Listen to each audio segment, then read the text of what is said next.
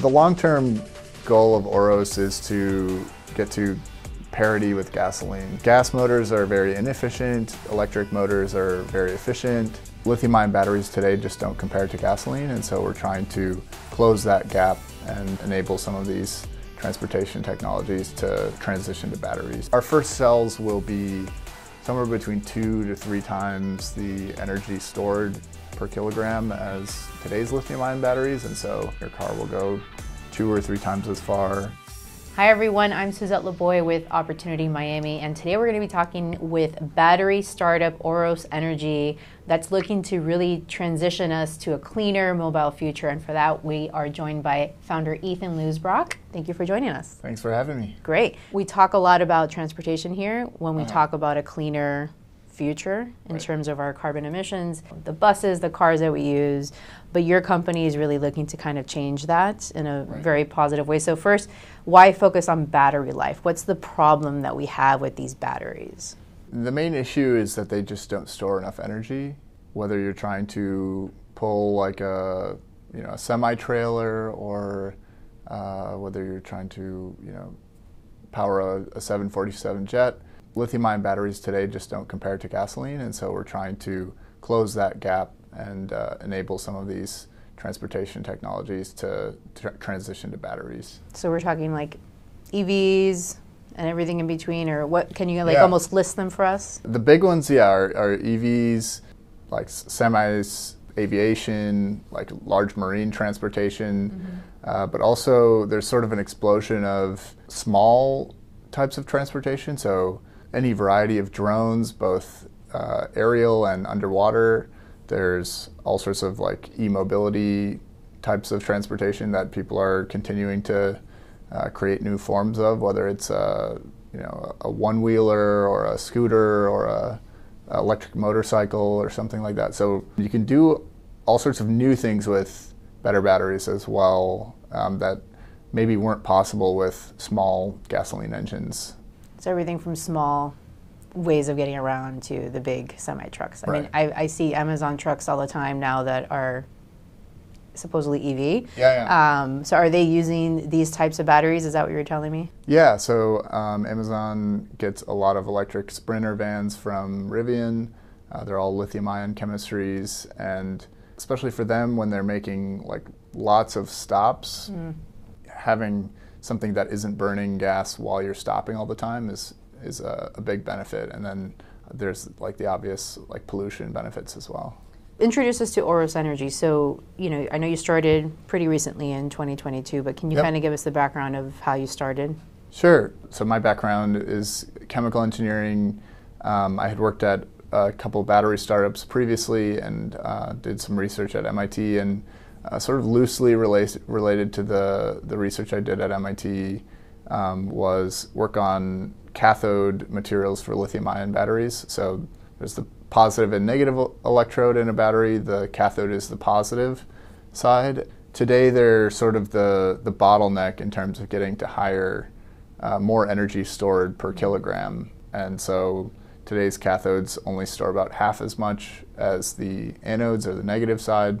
Uh, and so if you can bring that to parity or, or uh, even increase it above the anode uh, energy storage capabilities, then you can really unlock like new uh, applications. You either can s- store like the same amount of energy with less weight, mm-hmm. or you can have the same weight and more energy, or you can do some something in between. So that sort of paradigm sort of allows you to do new things that you weren't able to before because you didn't have enough energy or you had too much weight. So you started in 2022. You had, you know, you had mentioned to me you had a, I believe it was one prototype, and then do you want to just kind of give us like the transition of from one to what more than a dozen you have now?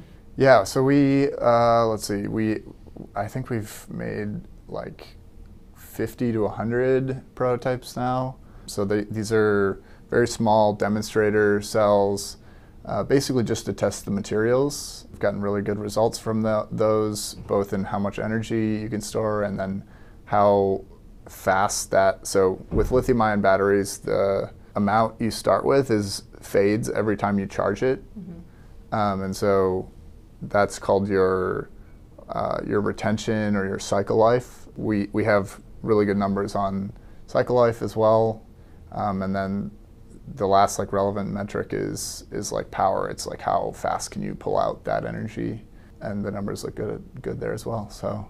So where are you guys now in terms of the prototype phase and testing? So so now we're actually working with a contract manufacturer to develop like our first commercial cells to start selling. So we're sort of we've done the initial testing and now it's just putting it to practice in a commercial format and doing all the relevant like testing and certifications for different applications. And is there a particular part of the industry that you're focused on first? Yeah, so aerospace is our initial focus. There's sort of two parts to that. One is like bigger electric aerospace vehicles, like electric vertical takeoff and landing vehicles, or sort of flying taxi, flying car type things. Mm-hmm.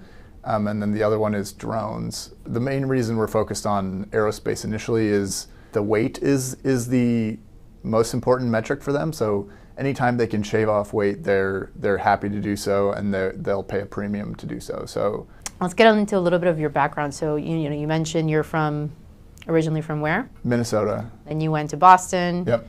Uh, which pretty has a pretty interesting and diverse or um, robust, innovative kind of scene. Absolutely. And then you come to Miami. Yeah. Which has a growing tech scene. Can you kind right. of explain why Miami?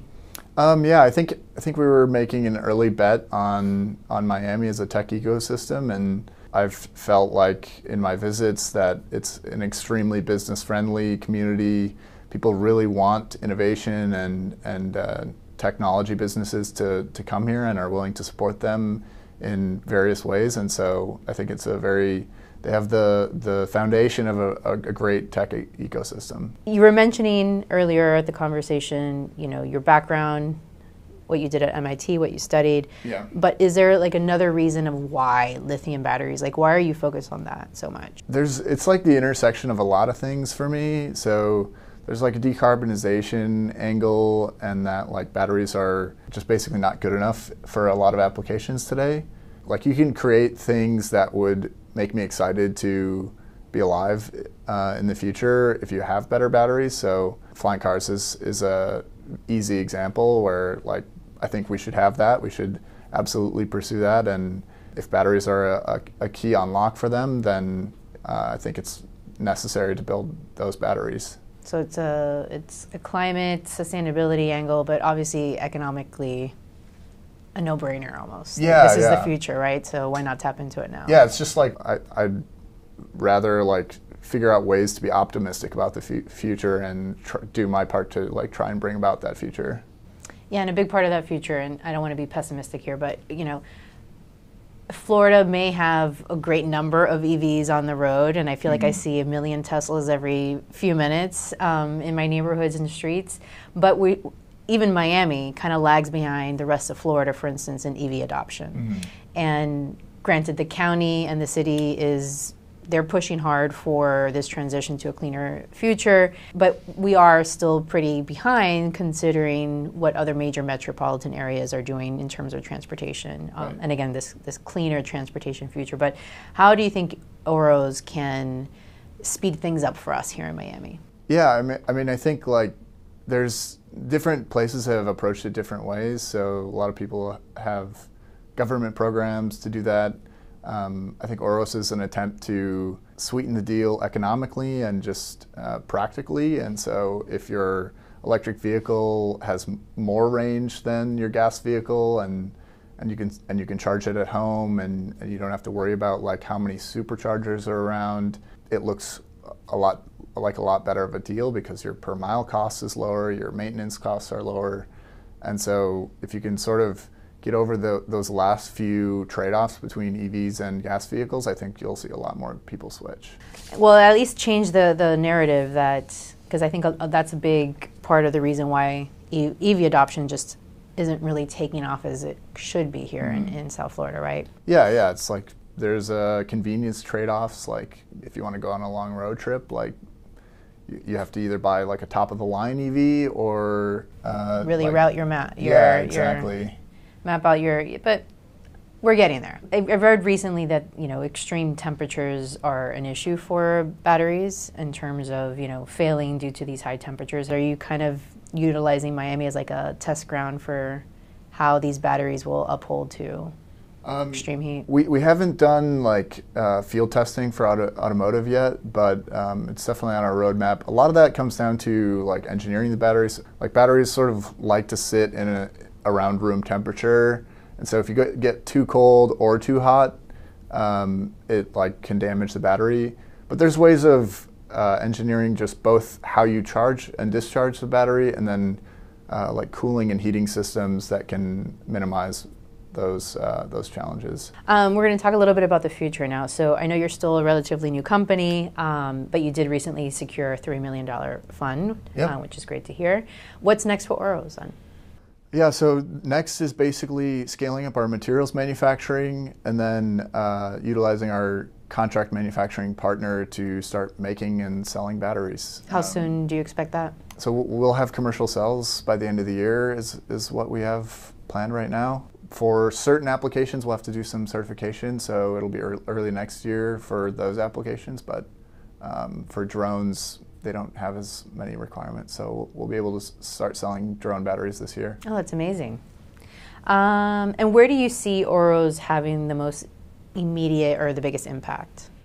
Ooh, um, I, th- I think the the air taxi is probably the most immediate, like the, the biggest delta between your, your life today and what will it will it'll be in a few years. Today, air taxis can do like 100, 150 miles of range. So that's really only enough for within a city. So they're sort of competing with like taxis and Ubers but we think we can push it to three, four hundred miles, and so you can start to do like short, uh, short like between city routes. So Boston to New York or Tampa to Miami or something like that, Right. and uh, instead of having to you know either drive like four hours or uh, take a sh- short flight. Hopefully, we we can uh, s- sidestep the TSA lines that way. Well, I know the county is also pushing hard for that. I mean, there's already a few eVTOL based companies in Miami, or at least have some sort of footprint here. right. Um, and there are some discussions of figuring out how do we do it from the airport to some of these other areas like Miami Yeah. Beach, right? It'd be great for traffic too. Yeah, yeah. Like especially on the bridge and and uh, like the worst times of the day. I think that would be great for the city. Fewer cars on the road, yeah. Yep. So it's a win win for all. How do you see Miami of 2040 in terms of battery adoption? Yeah, I think 2040, like uh, your cell phones will last longer, your EVs will go farther. Barring any regulatory issues, I think air taxis will be everywhere. Uh, I think there's a lot of like fun stuff you can do with electric uh, recreational, uh, like watercraft and things like that, jet skis, boats. Do you think Miami is going to be kind of a major player for all of that then? I think so. Yeah, like there's uh, a lot of disposable income here, and so people want new toys. I mean, the the long term goal of Ouros is to get to parity with gasoline. So. Gas gas motors are very inefficient. Electric motors are very efficient. You don't need batteries that are the same, uh, like energy storage as as gasoline. You just need to close that delta because uh, the the mo- electric motors will make up for the rest of it. Our first cells will be somewhere between two to three times the energy stored per kilogram as today's lithium-ion batteries, and so it's like a straight extrapolation. So your phone will last twice or three times as long. Your car will go two or three times as far. At the bare minimum, minimum it'll unlock new functionality for our devices. All right, so Ethan, thank you so much for joining us. It was Yeah. a pleasure. Thanks for having me.